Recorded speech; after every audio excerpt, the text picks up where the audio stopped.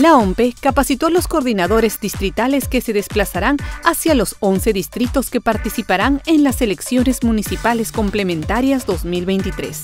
Los talleres se realizaron en nuestras ocho oficinas descentralizadas encargadas de organizar los comicios.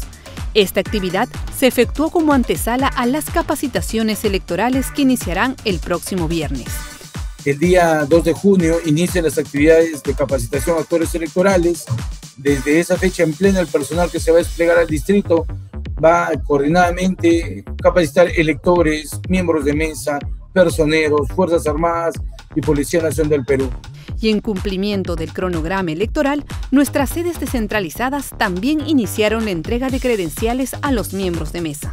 Además, se reunieron con representantes de las Fuerzas Armadas y Policía Nacional para coordinar la seguridad el día de la jornada electoral.